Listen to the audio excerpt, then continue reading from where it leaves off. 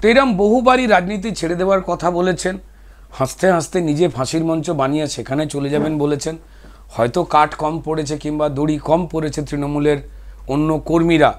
যেহেতু চুরি করাটা তাদের পেশা এবং নেশা তাই বোধহয় অভিষেক বাবুর ফাঁসির মঞ্চের দড়ি এবং কাঠ চুরি করে নিয়েছে ওনারই অনুপ্রেরণায়। তাই এই শরীর যেমন রক্ত ছাড়া চলে না ঠিক তেমন তৃণমূল কিন্তু চুরি ছাড়া চলে না। কে যেন বলছিলেন একটা খুব সুন্দর কথা। যে তৃণমূল কোনো রাজনৈতিক দল নয় তৃণমূল বেসিক্যালি একটি পেশার নাম। যে পেশায় আপনি রাজনীতি করছেন এই নাম করে অবাধে লুটপাট করতে পারেন যে কোনো একটা ঝান্ডা টাঙিয়ে এবং আপনার চুরি ধরা পড়ে গেলেই আপনি যে কোনো এজেন্সি বা যে কোনো কোর্টকে নিয়ে ছোট বড় কথা বলে বেঁচে যাওয়ার তাল করবেন। তবে যে পায়ের জিনিস পায়েই রাখো গলিও না হাতে মোজা। পায়ের জিনিস পায়েই রাখো গলিও না হাতে মোজা। কুকুরের লেজ যতই টানো হবে না কো সোজা। মুখ্যমন্ত্রী মমতা বন্দ্যোপাধ্যায় লোকসভা ভোটকে টার্গেট করে বলছেন দিল্লিতে আমাদের সরকার আসবে তাই বিজেপি সরকার টেনশনে আছে। কি বলবেন এই প্রসঙ্গে? দেখুন টেনশনে আসলে উনি শুয়ে পড়েছেন। হেলিকপ্টার নাকি ঝনঝন ঝনঝন করে কাঁপছিল। প্রচুর এই এই দেবাংশু দেবাংশু দেখলে মায়া হয়। বেচারা আইটির ভাইটি হয়ে গেছে এখন। ঠিক আছে নিজে বেঁচে থাকবার জন্য কত কি করছে বলছে তবু আর পদোন্নতি হচ্ছে না। এই গুপো দালাল, এই পঞ্চায়েতের কমিশনার, ঠিক আছে? এই বোতলবাবু, তো এই লোকটা পরিষ্কার, কে যেন বলছিল দুর্গা ঠাকুরের ওষুধ আমি বলছি যে এইভাবে ছোট করবেন না কাউকে, ঠিক হচ্ছে না। দেবাংশুর থেকে একটু ক্লাস নিতে বলব মানে ওনার থেকে দেবাংশু ভালো বলে। ওনাদের এই কপালের দোষ কুণাল ঘোষ, ঠিক আছে? এবং এই মমতা বন্দ্যোপাধ্যায়, তারা একটা কথা বলছে, কত একটা পার্টির মধ্যে কতগুলো পার্টি রে ভাই? ব্যান্ড, পিসি পার্টি, ভাইপো পার্টি, কদিন পরই তো দাঁতকা party. Study MBBS in Bangladesh. নিজেকে ডাক্তার হওয়ার স্বপ্ন পূরণ করতে চান তাহলে বাংলাদেশের টপ মেডিকেল ইউনিভার্সিটিতে আপনার সাধ্যের মধ্যে ডাক্তারি পড়ার সেরা ঠিকানা। মিশন এমবিবিএস স্বপ্ন আপনার পূরণ করব আমরা। দাদা প্রথমেই আপনাকে ক্যাম্পেইন কলিং মিডিয়ায় স্বাগত জানাই। একদম প্রথমেই যে বিষয়টায় আসব আহ, যতবার ডাকবে ততবার যাব। এই কথা বলেও দ্বিতীয়বারই ইডির তলব কিন্তু এড়ালেন অভিনেত্রী এবং তৃণমূলের যুবনেত্রী সায়নী ঘোষ। কি বলবেন? পরম্পরা লেগাসি মেনটেন এটা আমার মনে হয়। তৃণমূলের অভিষেক বন্দ্যোপাধ্যায় তিনিও এমনটাই প্রথম দিকে বলতেন। তিনি এবং তার পরিবার যখন এই চুরি জোচ্চুরি এগুলোতে জড়িয়ে গেছেন তখন এই ঘটনা আমরা দেখেছি বারবার। বিভিন্ন রকম অজুহাত তারা দিয়েছেন, তারপর তিনি প্রায় একশোটা মঞ্চে বলেছেন যে ফাঁসির দড়িতে আমি নিজে ঝুলবো, আমি জানি না। উনি ঘুরে বেড়াচ্ছেন না, ওনার আত্মা ঘুরে বেড়াচ্ছে, আমি জানি না। কিন্তু নির্বাচনের দোহাই দিয়ে তিনি কিন্তু এই তদন্ত এড়িয়েছেন। কোর্টের নির্দেশে যে দুর্নীতি, চুরি, তদন্ত চলছে, সেটা তিনি এড়িয়েছেন, ফলে তার সুযোগ্য ছাত্রী, যাকে তিনি তুলে নিয়ে আসে তারই চেয়ারে বসিয়েছেন তো তিনিও এই রাস্তাতেই হাঁটবেন, তাদের কথার দাম আছে কি? ওনার যেমন ফাঁসিও হলো না, নিজে ফাঁসি বরণ করলেন, আমরা যদিও চাই না, আমরা চাই আইনের পথেই যেটা সত্যি মিথ্যে যা হবে সেটা বেরিয়ে আসবে। তো উনি ওভাবে চান। এর কদিন আগেই বলছিলেন যে, এতক্ষণ আমার তো মনে উনি রাজনীতি ছেড়ে দিয়েছেন, কারণ উনি বলছিলেন যে, এই পশ্চিমবঙ্গে রাজ্য সরকার, তৃণমূল সরকার নাকি মা মাসিদের পাঁচশো টাকা করে ভাতা দেয় দেখিয়ে দিক, বিজেপি যদি অন্য রাজ্যে দেয়, উনি কান কেটে ফেলবেন, এক্ষুনি রাজনীতি ছেড়ে দেবেন।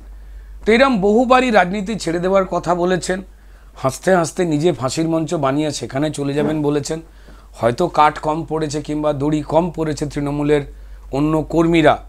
যেহেতু চুরি করাটা তাদের পেশা এবং নেশা, তাই বোধহয় অভিষেক বাবুর ফাঁসির মঞ্চের দড়ি এবং কাঠ চুরি করে নিয়েছে। ওনারই অনুপ্রেরণায়। তাই ওনার ফাঁসিও হয়নি আর উনি রাজনীতিও ছাড়লেন না। এই পাঁচশো টাকা নিয়ে মিথ্যে কথা বলে যেখানে আসাম বলুন, মধ্যপ্রদেশ, উত্তরপ্রদেশ এবং বিভিন্ন জায়গাতেই মহিলাদের নিয়ে বহু আগে থেকে গুজরাটে অনেক আগে থেকেই প্রকল্প আছে। যেখানে কন্যা সন্তান জন্মালে সেখানে একটা টাকা দেওয়া হয়। তারপর এই ভাতাগুলো তো আছেই বিভিন্ন নামে। তো তাই উনি মিথ্যেবাদী প্রমাণিত হলেন, কিন্তু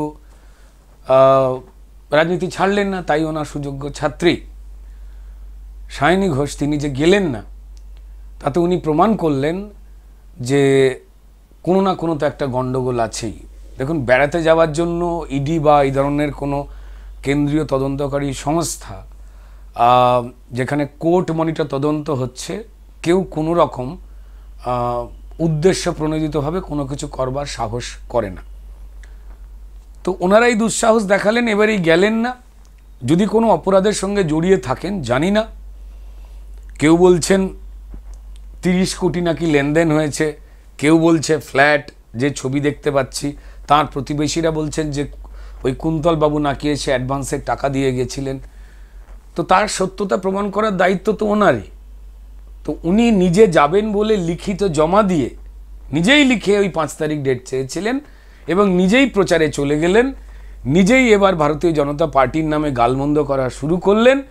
এই অ্যালিবাইটা তৈরি করতে চাইছেন, দেখো আমরা বিজেপি নিয়ে গালমন্দ করি বলে আমাদের পরিষ্কার হয় জেল হচ্ছে বা ডেকে পাঠাচ্ছে, যাতে মানুষকে গুলিয়ে দেওয়া যায়। তো বড়রা করেছেন ওনার তৃণমূল পরিবারের। তো ফলত উনি সেই রাস্তায় হাঁটছেন। বড়রা যা বলে দিয়েছে উনি তাই শুনে চলছেন। বড়দের খুব প্রিয়, খুব ঘনিষ্ঠ, খুব স্নেহের নিশ্চয়ই।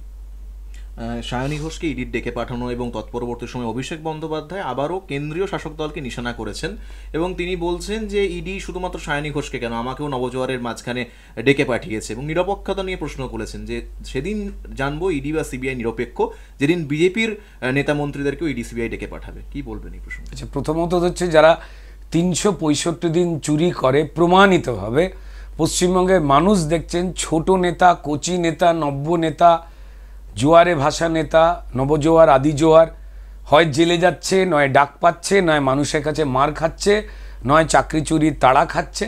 সবাই এটা দেখে নিয়েছেন। তারপরে আমি জানি না, অভিষেক বন্দ্যোপাধ্যায় এই ধরনের কথা বলার চেষ্টা কেন করেন? হ্যাঁ ওনারা, ওনাদের দল, ওনাদের দলের লোক, গরু পাচার করতে দারুণ পটু। তো গরু পাচার করতে করতে হয়তো ওনাদের মনে হয়েছে যে পশ্চিমবঙ্গের সব মানুষই গরু এবং পশ্চিমবঙ্গের সমস্ত বেকার যুবক যুবতীদের চাকরি দেওয়ার টাকা নেই। চুরি চুরি খেলামেলা করে ফান্ড শেষ করে দিয়েছি। তোলাবাজির ভয় এখানে রাজ্য সরকার কোনো শিল্প গড়তে পারে না। ফলত রাজ্যের কোনো ইনকাম নেই। তাই তৃণমূলের ইনকাম এবং রাজ্য সরকারের ইনকাম হচ্ছে কেন্দ্রীয় স্তর থেকে এই পঞ্চায়েতের দেদার উন্নতির জন্য ধর্ম, জাত পেশা নিরপেক্ষভাবে গরিব মানুষের জন্য যা যা আবাস থেকে শুরু করে, শৌচাগার থেকে শুরু করে, জল, কল, রাস্তার যা টাকা আসছে ইভেন রেশনের যা টাকা আসছে, ভুয়ো কার্ড, রেশন কার্ড, ভুয়ো job card, lakh lakh job card, এক কোটি ভুয়ো বেরিয়েছে। এবার আপনি হিসেব করুন একটা জব কার্ডে কত টাকা পায় মানুষ? তাহলে এক কোটি জব কার্ড থেকে এরা কত টাকা চুরি করেছে? সত্তর লক্ষ ভুয়ো রেশন কার্ড এসছে। রেশনে মানুষ যা পায় তার সেভেন্টি পার্সেন্ট দেয় হচ্ছে কেন্দ্রের সরকার। এটা ছাড়াও মানুষ আবাসে কি কি দুর্নীতি হয়েছে, তৃণমূলের নেতারা কি কি চুরি করেছেন? এই অভিষেক বন্দ্যোপাধ্যায় কাউকে আইডেন্টিফাই করেছেন? মমতা বন্দ্যোপাধ্যায় পুলিশ মন্ত্রী ওই আইডেন্টিফাই করেননি, চোরদের বাঁচিয়ে রেখেছেন, চোরদের জেলে পাঠাননি, এই অভিষেক বন্দ্যোপাধ্যায় বড় বড় কথা বলছেন, কিন্তু তিনি চোর চোরদের ধলতে বলছেন না। এবার তিনি অ্যানাউন্সও করে দিয়েছেন ইডি সিবিআই ডাকলেই কি পার্টি থেকে তাড়িয়ে দিতে হবে নাকি? তার কারণটা হচ্ছে যে উনি তো নিজেই ইডি সিবিআই ডাক পেয়ে বসে রয়েছেন। উনি আর বড় বড় কথা বলবেন কি করে? তাই না? ক্লাসমেটই হয়ে গেছেন তো তারা। এই শরীর যেমন রক্ত ছাড়া চলে না, ঠিক তেমন তৃণমূল কিন্তু চুরি ছাড়া চলে না। কে যেন বলছিলেন একটা খুব সুন্দর কথা, যে তৃণমূল কোনো রাজনৈতিক দল নয়, তৃণমূল বেসিক্যালি একটি পেশার নাম।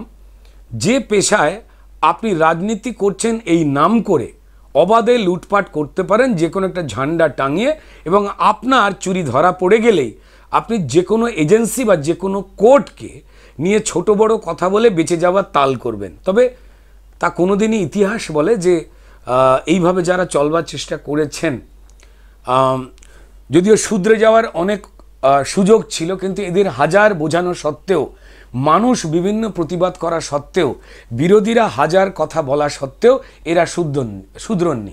আমার একটা লেখার লাইন পড়ে যায়, কোনো একটা প্রসঙ্গে লিখেছিলাম।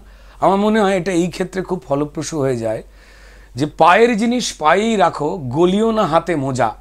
পায়ের জিনিস পায়েই রাখো, গলিও না হাতে মোজা। কুকুরের লেজ যতই টানো, হবে না কো সোজা।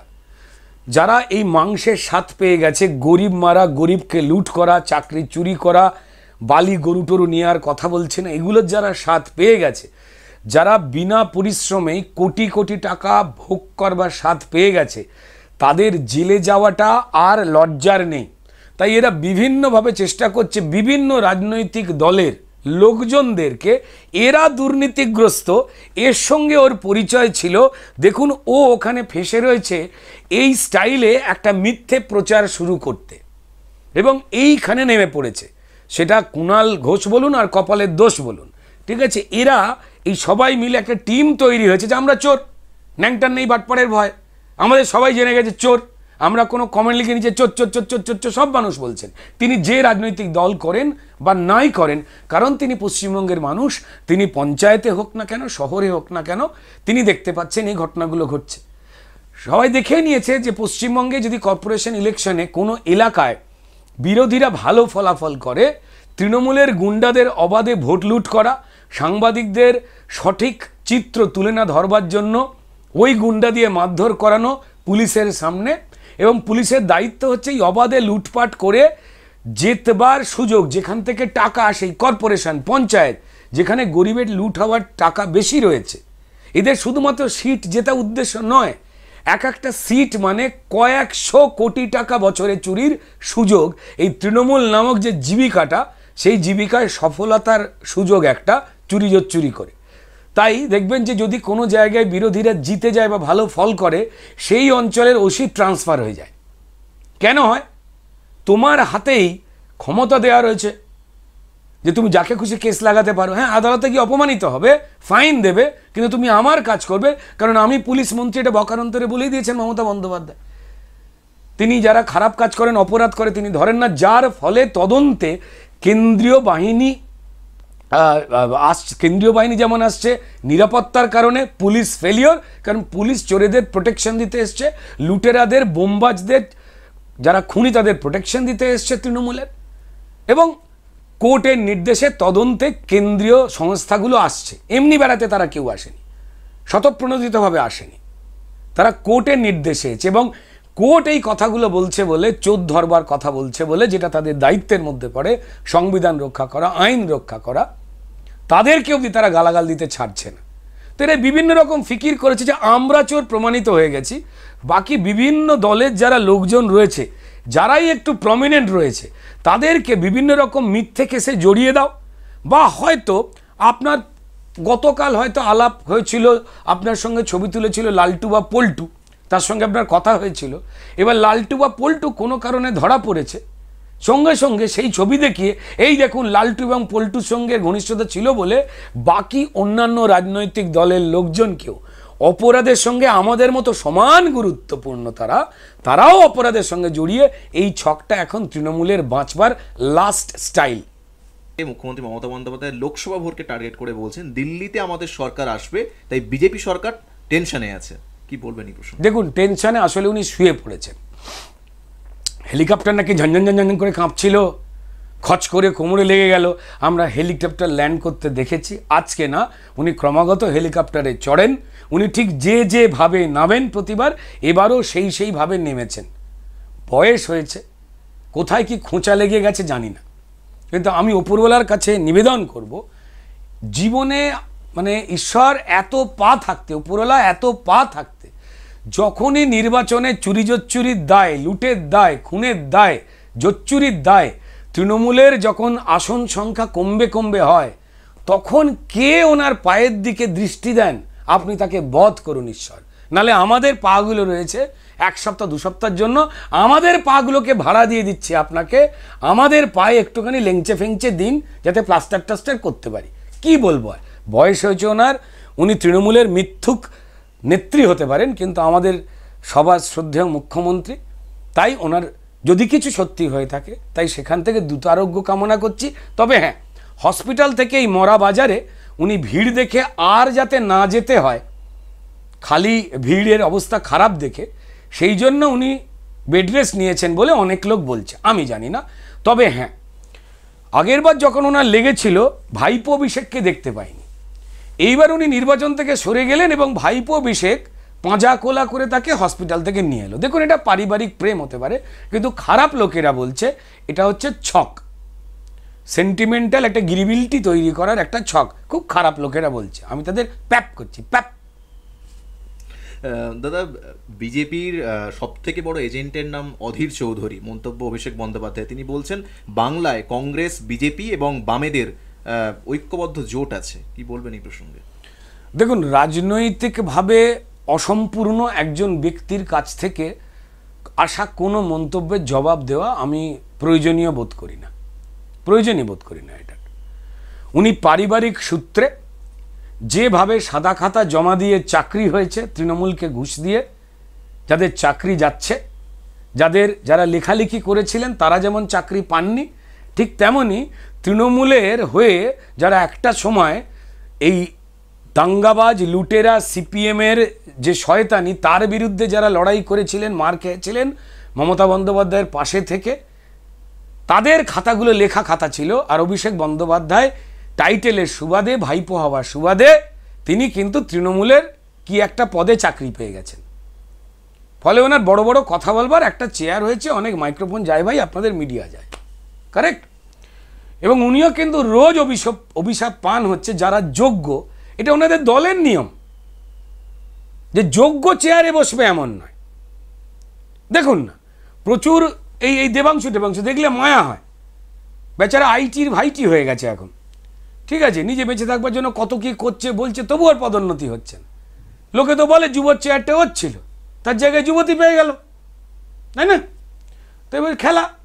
অর্থাৎ যে যারা এখানে সাদা খাতা জমা দেবে, আর কি কি উপকরণ রয়েছে আমি জানি না। তারাই এখানে বড় পদ পাবে, চাকরি পাবে, যেভাবে সাদা খাতা জমা দিয়ে যারা ভুয়োরা চাকরি পেয়েছে। তো আমি ওনার কোনো কথার উত্তর দেওয়ারই প্রয়োজন বোধ করি না। আগে উনি রাজনৈতিক জ্ঞান অর্জন করুক। দেখুন, রাজনীতির ছক, রাজনীতির অনেকগুলো পার্ট আছে। রাজনীতির ব্যবসায়ীকে রাজনৈতিক ব্যক্তিত্ব বলা যায় না।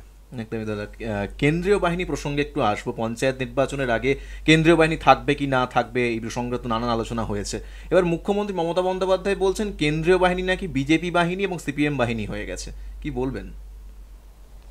দেখুন, এখানে যদি আপনি বলেন তৃণমূল চোর, আপনি কোনো রাজনৈতিক দল যদি না করেন, তো তাহলে আপনাকে বিজেপি বলে দেওয়া হবে। কারণ বিজেপি তৃণমূলের হাতে এত খুন হচ্ছে কেন? কারণ কেন্দ্র সরকার এই পঞ্চায়েত বলুন বা সার্বিক উন্নয়নের জন্য বলুন, কত কোটি কোটি টাকা পাঠাচ্ছে সেই হিসেব আমরা কিন্তু সরাসরি দিল্লি থেকে পেয়ে যাই। এবং রাজ্য কত টাকা লুট করল, কোন সেক্টরে সরিয়ে দিলে এবং স্পষ্ট প্রমাণিত তো হয়ে গেছে যে বাচ্চাদের মিড ডে মিলের টাকা থেকে যারা ভোট কর্মী যারা প্রাণের বাজি রেখে তৃণমূলের গুন্ডাদের চোখ শাসান, চোখ রাঙানো, চোখ শাসানোর পরেও যারা জালি ভোট হতে দেওয়ার বিরুদ্ধে ক্রমাগত রুখে দাঁড়ান, আগের বার আঠেরোতে মারাও গিয়েছিলেন একজন। সেই ভোট কর্মী যারা আমার রাজ্য সরকারি কর্মচারী, যাদের মুখ্যমন্ত্রী দিয়ে দিতে পারেন না, এলাকায় শিল্প আনতে পারেননি বলে আমার রাজ্যে। রোজগার নেই বলে পশ্চিমবঙ্গে। তো তারাও তো একই কথা কেন্দ্রীয় বাহিনী চেয়েছে নিরাপত্তার জন্য। এই গুঁপো দালাল, এই পঞ্চায়েতের কমিশনার, ঠিক আছে? এই বোতলবাবু, তো এই লোকটা পরিষ্কার, কে যেন বলছিল, দুর্গা ঠাকুরের ওষুধ আমি বলছি যে, এইভাবে ছোট করবেন না কাউকে, ঠিক হচ্ছে না। একটা ফ্রেঞ্চ কার্ড রেখেছেন, অদ্ভুতভাবে রেখেছেন। আর উনি যদি মদ খান মদ খান, কার কি আছে? পশ্চিমবঙ্গ সরকারের একমাত্র ইনকাম হচ্ছে মদ বিক্রি করে। আমি বলছি বলে নয়, সরকার বুক ঠুকে বলে। তা যদি একজন রিটায়ার্ড আমলা, সে যদি প্রচুর মদ কিনে এবং খায়, এবং তাতে যদি রাজ্য সরকার টলমল করতে করতেও একটু টাল খেতে খেতেও চলে, তো তাকে তার একটা পোস্ট দেবে না? চল তোকে কিছু করে দিচ্ছি বলে। ভোট লয়ে গেলে পঞ্চায়েত থেকে যা তোর, তো এটা হয়েছে। মানুষ কিন্তু ঘুমোচ্ছে না। আদালতে যেমন এরা সপাটে চড় খাচ্ছে, ঠিক তেমনই এদের রাত্রিবেলাও না ঘুমুকে এরকম করে ওঠে মাঝে মাঝে। স্বপ্ন দেখে। মানুষ বুঝি মারছে, মানুষ বুঝি তাড়া করছে। আমি মানুষকে বলব যে আইন নিজের হাতে নেবেন না। এই সমস্ত অসুর ভাঁড় যারা এসছে, তারা সময়ের সঙ্গে এমনি বেরিয়ে যাবে। আপনারা জেগে উঠুন, সাহস করুন, চোরেরা ভীতু। তাই কে কি বলল? মমতা বন্দ্যোপাধ্যায় কী কথা বলল? উনি তো কেন্দ্রীয় বাহিনী চেয়েছিলেন একটা সময়। চাননি? পশ্চিমবঙ্গে কেন্দ্রীয় বাহিনী দিয়ে ভোট হয়নি তেরোতে? পশ্চিমবঙ্গের পুলিশ নিরাপত্তা দিতে অপদার্থ। পশ্চিমবঙ্গে টাকা নেই বলে পুলিশ মন্ত্রী নিজে পুলিশ রিক্রুট করতে পারেননি। সত্তর হাজারের ওপরে বুথ। তো তারা চাইছিলেন না তো যে কেন্দ্রীয় বাহিনীটা আসুক। কেন্দ্রীয় বাহিনী এলেই যদি একটা কেন্দ্রীয় বাহিনীর একটা লোকও যদি ঘুরে বেড়ায়, যাদের কেনা যায় না, তৃণমূলের লুটেরাদের অসুবিধা। তা মমতা বন্দ্যোপাধ্যায় তো নিজের চুরির পক্ষে, তাই তো তিনি চান যে ভোটটা চুরি হোক। পঞ্চায়েতে কতগুলো সিট দখল করল, এটা তৃণমূলের লড়াই নয়। তৃণমূলের লড়াই মানে হচ্ছে একটা পঞ্চায়েত ভোট, ভুয়ো ভোট দিয়ে ছাপ্পা দিয়ে চুরি করা মানে টোটাল ওই অঞ্চলের তৃণমূল পরিষ্কার একশো টাকা, একশো কোটি চুরি করবে, পঞ্চাশ কোটি নিজেরা খাবে, পঞ্চাশ কোটি কালীঘাটে, বালিঘাটে যেখানে খুশি পাঠিয়ে দেবে। এটা তো ওদের দলের সিস্টেম তো ফলত দু নম্বরই রোজগার যদি কেন্দ্রীয় বাহিনী যারা আমাদের জওয়ান, যারা প্রাণ বিপন্ন করে আমাদের সেবা করে, রক্ষা করে, তাদেরকেও ছোট করতে তো ওনার অসুবিধা হওয়ার কথা নয়। কারণ উনি দেখছেন ওনার চুরির পকেটটা ছোট হয়ে যাচ্ছে। এ বড় দুর্ভাগ্যের বিষয় পশ্চিমবঙ্গে। যেখানে দাদা মমতা বন্দ্যোপাধ্যায় যে প্রসঙ্গ নিয়ে তুমি বললে এতক্ষণ অভিষেক বন্দ্যোপাধ্যায় বলছে, কেন্দ্রীয় বাহিনীতে তো আমাদের কোনো আপত্তি নেই। আমরা তো দলের পক্ষ থেকে তাহলে সুপ্রিম কোর্টে যেতাম যদি আপত্তি থাকতো। কেন্দ্রীয় বাহিনী আসুক না, মানুষের রায় মানুষ জানাবে। আমি শুধু চাই নিরপেক্ষ এবং শান্তিপূর্ণ ভোট হোক। কি বলবেন? দেবাংশুর থেকে একটু ক্লাস নিতে বলব মানে ওনার থেকে দেবাংশু ভালো বলে। ওনাদের এই কপালের দোষ কুণাল ঘোষ, ঠিক আছে? এবং এই মমতা বন্দ্যোপাধ্যায়, তারা একটা কথা বলছে, কত একটা পার্টির মধ্যে কতগুলো পার্টি রে ভাই? ব্যান্ড, পিসি পার্টি, ভাইপো পার্টি, কদিন পরই তো দাঁতকা পার্টি এ তো বুঝতেই পারা যাচ্ছে। এতে বোধহয় অন্য দল করার প্ল্যান করছে। যাই হোক না কেন, জানি না। উনি যে পরিষ্কার ফালতু কথা বলেন, গম্ভীর টম্ভীর হয়ে গিয়ে এটা তো প্রমাণিত হয়েছে। ওনার রাজ্য সরকারই তো এবং এই কমিশনারই তো আটকা, যাতে কেন্দ্রীয় বাহিনী না লাগে আটকাবার জন্য কোটে গেছিলেন। কোথায় ছিলেন? উনি জানেন না এটা? কোন দলের কি সব পোস্ট পোস্ট নিয়ে বসে আছে? এ কে রে? এ কি রে? নিজের দলকে ছোট করছে। পিসি বোনেকে ছোট করবেন না ভাইটি? দিনের বেলা লুঙ্গির বদলে পড়তে হবে নাইটি। হুম। ঘামাচির জ্বালা নিয়ে সারাদিন চলা। স্বস্তি অনাছে নিমের সুবাসে। এই বাংলার ঘরে ঘরে স্বস্তি on. NP Dutta and son হাঁটুর ব্যথায় রিউমার্ট নিন, হাঁটুর ব্যথাটা কমবে। হোমিওপ্যাথির একটাই নাম NP Dutta and son NP Dutta and son NP Dutta and son